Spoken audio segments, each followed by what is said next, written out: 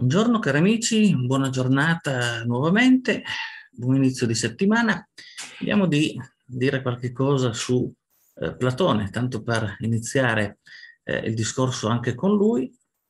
Allora, abbiamo concluso la settimana scorsa con Socrate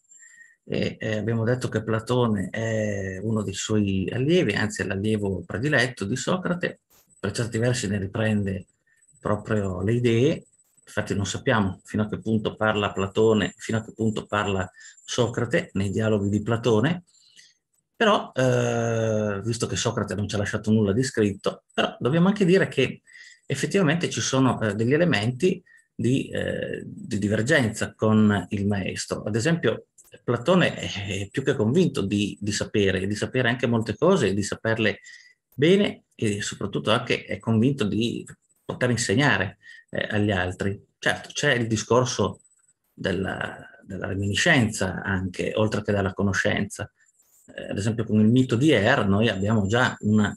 eh, forma di ritorno alla maieutica socratica per cui le eh, nostre conoscenze vengono letteralmente fatte riaffiorare eh, alla luce di eh, scoperte che vengono fatte con domande articolate in modo che la nostra anima permette eh, a noi di ricordare ciò che abbiamo visto nel mondo dell'iperuranio.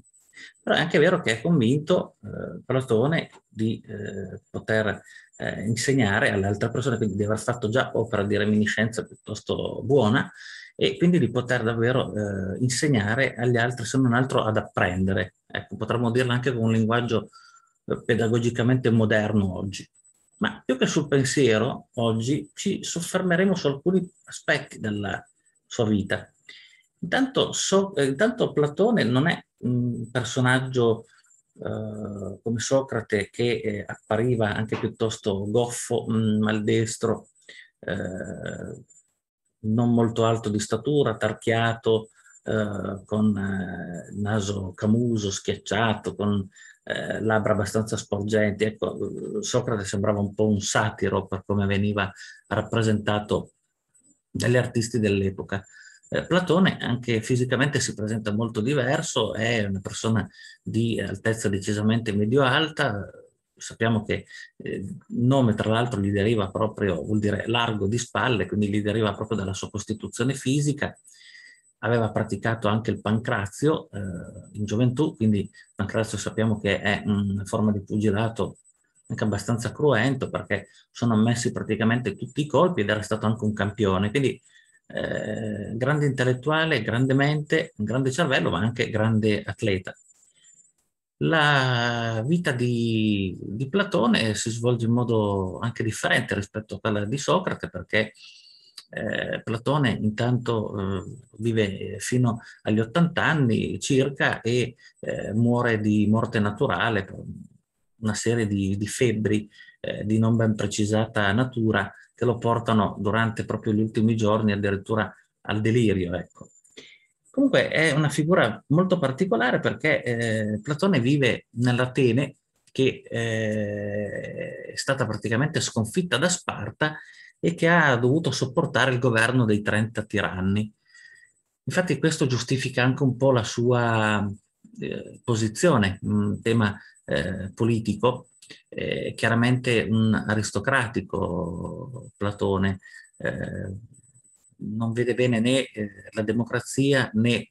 la tirannide, eh, vede piuttosto bene un, un governo aristocratico, infatti anche il fatto di dire che se soltanto il governo fosse stato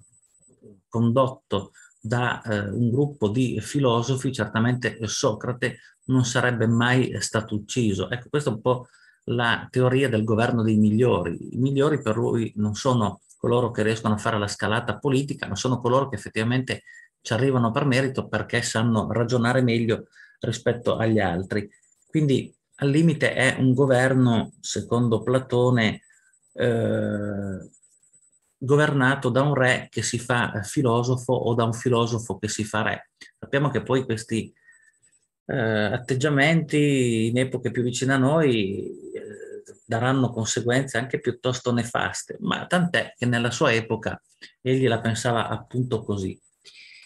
Tra l'altro la sua fama di pensatore si divulga abbastanza velocemente e eh, egli non diventò mai un politico di professione né diventò re, tantomeno, ma comunque divenne perlomeno consulente del re. Ecco, sappiamo che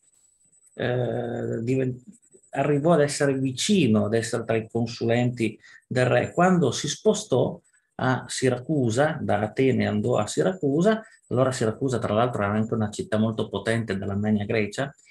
e eh, cercò di diventare il consulente del, del, re. In realtà sappiamo che la cosa gli riuscì a metà o meno della metà, eh, diventò soltanto uno degli amici di eh, Dione, eh, che era eh, imparentato con il tiranno siracusano. Eh,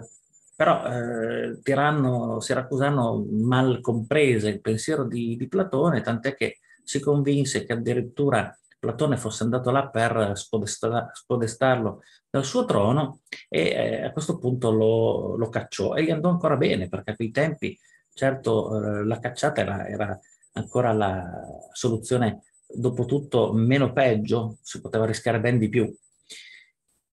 Ecco, in ogni caso eh, diciamo che eh,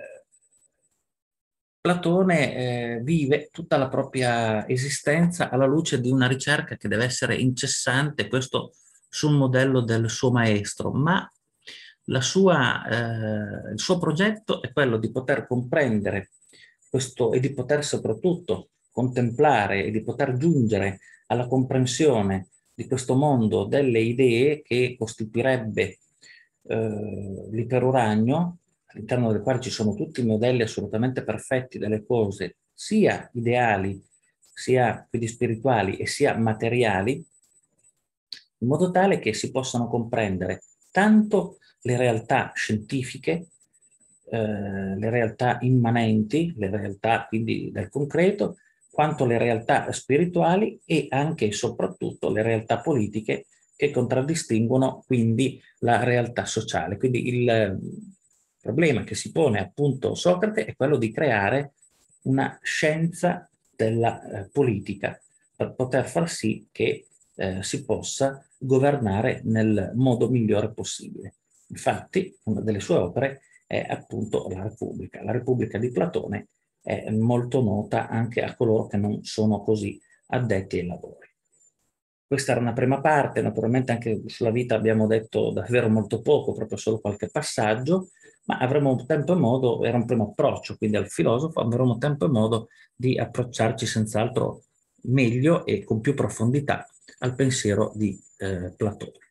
Per il momento è tutto, grazie per la vostra cortese attenzione e eh, arrivederci ad un prossimo appuntamento con Platone. Grazie e buona giornata.